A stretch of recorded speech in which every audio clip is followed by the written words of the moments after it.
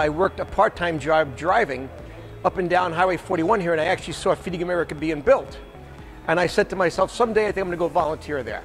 So I was asked if I didn't mind uh, delivering food, which I do now on Tuesdays or anytime they need me, delivering some to the local food pantries. When I'm done with that, I'll come in here and do whatever needs to be done, either it be food sorting, bulk packing, or even uh, cutting down totes. Whatever is needed to be done, we'll do it. They definitely will work around your schedule.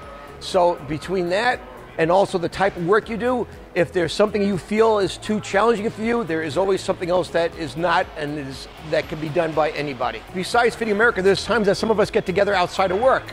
Some go play golf, we've been to baseball games, we go out to eat. So again, it's just a great, the people make this place awesome.